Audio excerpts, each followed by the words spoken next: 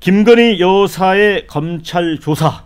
어, 일단 조사에 응한 거는 뭐 아주 잘한 것이죠. 그런데 이제 후폭풍이 이어지고 있습니다. 어, 이 과정에서 이원석 총장의 패싱을 두고도 어, 지금 논란이 계속되고 있습니다. 자, 이 이원석 총장이 에, 이른바 패싱된 것과 어, 관련해서 어, 어떤 음, 검찰로서 어, 제대로 원칙적으로 어, 행해진 게 아니다. 그래서 대국민 사과까지 했습니다. 자, 이런 부분에 대해서 대통령실에서 이 검찰총장이 정치하는 거냐? 그러면서 이제 불쾌감을 드러냈습니다. 자, 이 여권 관계자 같은 경우에는 이제 명품 가방 수수 조사도 검찰 내에서 유동적으로 보고 조정했다고 봐야 하지. 어, 이거를 검찰총장을 패싱했다고 하는 거는 또 극단적 표현이다. 에, 그러니까 이제 에, 지난번 추미애 에, 전 법무장관이 있을 때 에, 주가 조작 관련해서는 이제 검찰총장을 지휘에서 이제 배제해 버렸거든요. 그래서 그런 논란도 함께 봐야 된다라고 어, 어, 이 얘기를 하고 있습니다. 그런데 결국은 이제 조사 장소가 제 3의 장소였습니다. 어, 현직 대통령의 영부인으로서는 첫 조사이긴 합니다. 그런데 과거에 노무현 전두환 전 대통령 부인도 이제 조사를 했는데 그때도 물론 비공개 조사였습니다. 그런데 검찰청사에서 조사를 받았거든요. 자, 이런 부분. 그래서 이게 검찰총장하고 이제 대통령실 간의 어떤 갈등 양상, 항명 이런 흐름으로 갈 것 같은 그런 예감도 듭니다. 네. 자, 의원님 어떻게 보세요? 이 건은? 우선은 대통령실이 정치를 너무 못하고 있다 그렇게 볼 수밖에 네. 없습니다. 그러니까 지금 현재 대통령실에서 이원석 검찰총장한테 정치하냐 이렇게 얘기를 하고 있습니다만은 이미 그 전에 정치가 이루어진 셈이죠. 결과론적으로 보면 이러려고 이창수를 서울중앙지검장에 앉혔냐라는 이야기를 들을 수밖에 없어요. 그리고 사실은 조, 뭐 조사를 하는 게 중요하지 장소가 어디 중요하냐 하지만 수사 검사들이 어, 핸드폰도 압수당한 채로 조사를 했다라고 하는 것은 그 안에 들어가서 누가 조사 누가 조사를 했는지 누구 수사를 받았는지도 주체도 명확하지 않다. 뭐 12시간 했다고는 하지만 어, 사실은 오히려 여러 다음 주나 다다음 주에 있을 국회 청문회를 앞두기 위해서 안 하기 위한 면제 부 주기용의 수사 아니었냐 이런 얘기를 할 수밖에 없어요. 어, 그 국회에서 얘기하는 김건희 청문회 얘기해서 나는 벌써 검찰 수사도 받았다 이런 얘기를 하기 위해서 면제부 주기용으로 먼저 어디든 했다라고 하는 거고요. 이왕이면 저는 어, 왜 제가 대통령실이 정치를 못한다고 얘기하면 차라리 그 정도 뭐 예를 들면 탈탈 틀어서 문재인 정부 때 주가 조작 아무것도 없었다. 디올백 문제 사실은 뭐 청탁한 게 없으면 아무 그리고 법적으로 영부인한테 뭐 법적인 뭐 청탁 금지법 상에 아무 문제가 없다 그러면 오히려 비공개를 원칙으로 검찰청에 나오는 게 훨씬 더 음. 어, 매를 미리 맞는 셈이죠. 네, 네. 후가를 줄이는 겁니다. 이제 그런 건데 그렇지 않고 거의 그 검찰총장의 보고도 안 될 정도로 보고도 안 되는 게 아니라 보고를 못 할 정도로 핸드폰까지 뺏겨가면서 수사를 했다. 누가 믿겠습니까? 그러니까 내용에 있어서도 그러니까 그럴 경우에 더 마- 다음번에 더 안 좋은 악재는 뭐가 있습니까? 불기소 송치를 했을 때 이미 짜고 친 고수도부 아니냐 이런 얘기를 이제는 제대로 검, 검찰총장 지휘하에서 수사를 받았다 그러면 조금 더 정당성이 있을 텐데 어떤 결과가 나오더라도 이제는 정당성을 갖지 못한 지경으로 대통령실이 스스로 내몰고 있다 매우 안타깝다라는 말씀을 드릴 수밖에 없어요. 네, 신은규 대표. 그런데 제가 이제 어, 여권의 입장을 조금 좀 대변을 하자면 어쨌든 13시간 정도 뭐 강도 높은 조사를 받았다는 부분 하나하고 그 영부인이 이 조사를 검찰청으로 갔을 때 특히 이제 어떻게든 이제 대중에 혹시 노출됐을 때 위험을 감수해야 되는 거 아니냐라는 그 보안 뭐 안전 뭐 이런 문제도 고민했다고 하는데 어떻게 보세요? 변호사를 하고 있으니까. 근데 뭐 13시간이 중요한 게 아니고요. 네. 그 우병우 수석이 과거에 검찰 청사안에서 팔짱 끼고 아주 편안하게 있었던 이제 그런 것도 연상이 되면서 정말 김건희 여사가 검찰 수사를 받고 조사를 받은 것인지 아니면은 검찰 남편의 검찰 후배들을 소환해서 오히려 본인의 어, 범죄 혐의를 떨어주는 이런 면죄부성 수사를 받은 건지는 좀 더 따져봐야 되는데 지금 일단 김건희 여사 혐의가 너무 중합니다. 그러니까 주가 조작이라든지 뇌물 혐의는 상당히 중대 범죄거든요. 근데 중대 범죄에 맞지 않게 어, 상당히 지금 너무나도 많은 이런 특혜나 배려를 받고 있기 때문에 국민들이 더 분노를 하는 건데요. 저는 살다 살다가 출장 세차나 출장 뷔페는 들어봤지만은 출장 조사는 정말 보기 힘듭니다. 그것도 노블리스 오블리주를 해야 되는 권력자의 측근들이 이런 식으로 편의를 받는, 그러니까 배려를 받는 것은 있을 수 없는 일이다라는 생각이 들고요. 이원석 총장이 예외도 특혜도 성역도 없다라면서 헌법 가치를 들먹였거든요. 그러나 결과론적으로 이원석 총장만 바보가 되고 끝나버렸다라는 게 이 문제의 핵심인 것 같고요. 또 하나는 검찰총장이 완전히 패싱이 됐습니다. 그렇다면 우리나라는 검찰청 법에 의해서 준사법기관인 검찰의 독립성과 중립성을 상당히 고도로 보장해주고 있거든요. 근데 거기에 지금 검찰총장 대한민국의 검찰총장이 지금 어디로 가 있습니까? 그러니까 군에는 지금 해병대 사령관도 보이지 않고 검찰에는 검찰총장도 보이지 않고 무언가 보이지 않는 손이 뒤에서 모든 거를 다 조율하고 있는 거 아니냐. 그러면서 지금 이 김건희 여사의 특혜나 면죄부성 떨어주기 수사를 진행하고 있는 거 아니냐라는 국민적 의구심이 클 수밖에 없기 때문에 저는 더 큰 문제는 대한민국의 검찰권이라고 하는 검찰 조직의 개선이 완전히 무너져 내린 거. 전 이것이 더 심각한 문제다라고 생각을 합니다. 그래서 음, 어느 장소에서 조사 받았느냐 이 부분도 어, 저희 이제 유튜브 실시간 보시는 분들도 그런 생각을 하는 것 같습니다. 12시간 조사 받았다고 했는데 그 제대로 12시간 조사 받았는지 어떻게 믿을 수 있겠느냐 이런 의견을 제시하는 분도 있습니다. 그런데 이제 그 수사팀 주인 검사, 부장 검사죠. 어, 검찰총장이 뭐 이거 잘못됐다라고 하면서 이제 감찰을 지시하니까 거기 분노해서 이제 사표를 내버렸잖아요.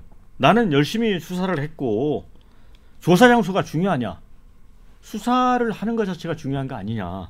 이거는 김주수 단장님은 어떻게 보세요? 지금까지 이제 검찰의 우리 특징은 뭐 동일체 뭐 이런 이야기도 했고요. 또 지휘관계 이런 건데 검찰총장을 바지 사장으로 한번 보면 이렇게 하겠나 생각이 들고요.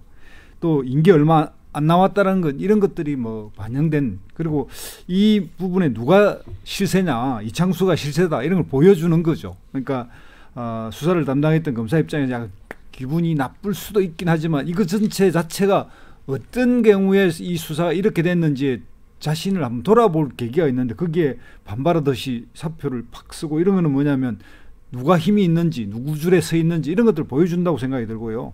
이런 거는 그러니까 정치가 뭔가 선을 넘으면 그 뭔가 이렇게 좀 뭐랄까 위험해지는데 이런 수사야말로 국민들이 기대한 것 이상의 선을 넘어가야 아 그래도 좀 이해하고 좀 더 그 다음에 문제를 풀 건데 이렇게 비공개로 하- 하면서 그것도 그 소환된 장소가 뭐 경호처 근방 뭐, 뭐, 뭐 그쪽에 했다 이렇게 해버리니까 국민들이 볼 때 이거는 못 믿는 거죠. 그러니까 그리고 또 하나 계속 언론이나 뭐 그 검찰청에서 이야기하는 추미애 장관 시절에 윤석열 검찰총장의 수사지휘권을 배제한 거는 당사자 소위 이해 당사자인 윤석열 검찰총장이니까 그런 건데 왜 다음 검찰총장이 이걸 지휘를 못합니까? 그 이해도 안 되고 문제는 뭐 행식상 검찰총장이 다시 지휘하게 달라고 그러는데 윤석열 정부가 계속 안 해줬다 이렇게 이야기하지만 윤석열 검찰총장이 지휘 못할 일과 현재 검찰총장이 못한 이런 것도 이해가 안 가고요. 이 문제는 또 그런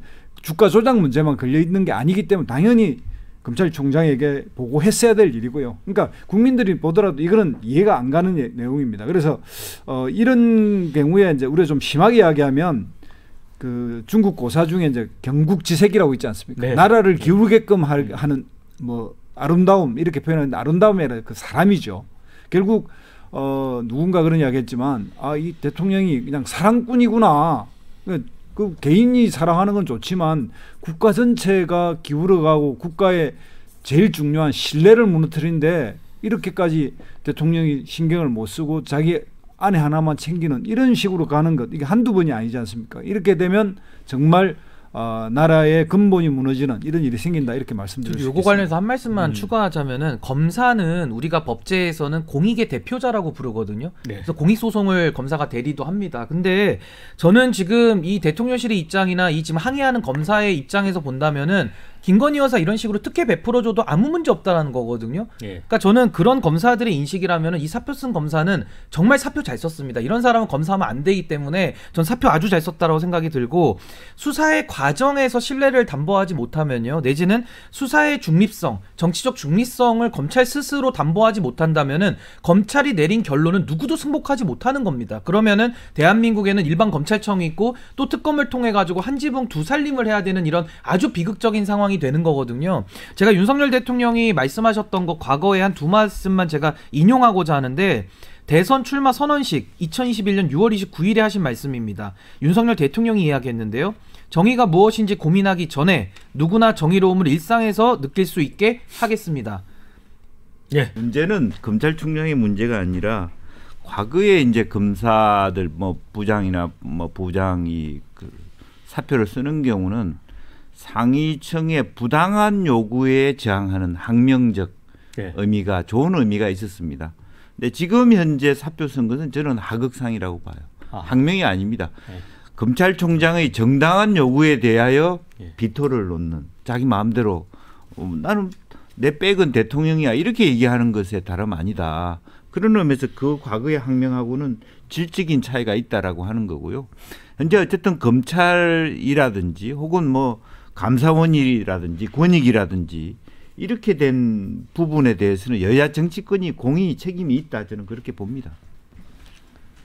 자, 최진 변호사님, 지금 이제 이 이원석 검찰총장의 이제 반발, 어, 이제 대통령실은 또 정치하냐 이렇게 이제 서로 대립되는 부분을 지금 논의를 하고 있습니다. 이제 본질은 이 김건희 여사 수사가 제 3회 장소의 조사를 받았고 지금 이제 검사들이 핸드폰을 일단 본인들이 소지할 수 없게 한 상태에서 또 조사를 했다는 거 아니에요? 그래서 우리 댓글에도 보면 수사하는 사람들이 핸드폰을 놓고 하는 경우가 어딨냐 이런 얘기도 있어요. 그러니까 좀 어쨌든 검찰의 수사 방식에 대해서 김건희 여사에 대해서 10시간 넘게 조사를 했지만 그 과정에 대해서 많은 의심을 표하거든요. 어떻게 보세요? 어 그렇습니다. 뭐좀 헌법 11조 어, 평등의 원칙 아니겠습니까? 네, 네. 어, 법, 법 앞에 누구나 평등해야 되고 법인이 법 앞에 만인이 평등해야 되는데 법 앞에 만 명만 평등해서 되겠느냐 이런 비판이 사실 제기되고 있는 것 아니겠습니까? 네. 음, 상당히 보수적인 신문이라고 할 수 있는 어, 한국경제신문 같은 경우에도 오늘 어, 사설에서 김건희 여사뿐만 아니고 어, 이재명 민주당 대표도 법 앞에는 같이 평등해야 된다라는 그런 취지의 사설을 실었던 것을 제가 오늘 봤습니다. 음, 기본적으로 수사란 것은 실제로 공정해야 되고 공정해 보여야 되는 것이 사실 아니겠습니까? 그렇다는 점에서 김건희 여사가 검찰청이 아니고 제3의 어떤 그 국가 시설에서 조사받은 사안 자체에 대해서는 뭐 법조인 저로서도 좀 아쉽다라는 말씀을 드리지 않을 수가 없는 것 같습니다. 아마 그런 점에서 검찰총장께서 상당히 좀 본인의 직에 직을 걸 건다는 그런 얘기도 나오고 있는데 다만 또 실물을 또 볼 경우에는 예전에 그 보면은 권양숙 여사라든가 아니면은 뭐그 어, 전두환 전 대통령의 그 이순자 여사 이런 분들이 조사를 꼭 뭐 관할 지역에 있는 검찰청에 가서 조사를 받은 건 아니라라는 어떤 현실론 이런 상황 속에서 어느 정도 선에서 어떤 어, 중앙지검이 타협을 좀 봤다라고 볼 수가 있는 것 같은데요. 어쨌든 그 원칙이 그 약간 훼손된 그 부분에 있어 가지고는 법조인인 저로서도 상당 부분 좀 아쉬웠다라는 말씀을 좀 드리지 않을 수가 없는 것이고 이 부분에 있어 가지고는 수사는 수사 선에서 원칙대로 하면 되는 것이지 그것을 가지고 어 지금 윤석열 대통령이 있는 용산 측에서 이 부분을 검찰총장에 대해서 또 한마디 하는 것. 이거는 오히려 추후에 야당에 대한 어떤 수사 를해 나감에 있어서도 거꾸로 어떤 그 부메랑이 될 수 있는 부분이 있기 때문에 지금 검찰은 검찰이 수사하는 것에 대해서 독립성을 유지하도록 일정 선을 긋는 그런 모습이 오히려 국민들에게 정말 공정과 상식을 견제하는 대통령이라는 이미지를 준다는 점에서는 음, 그런 원칙을 좀 국민들한테 좀 보여줬으면 하는 개인적인 그런 바람을 좀 말씀드릴 수밖에 없는 것 같습니다.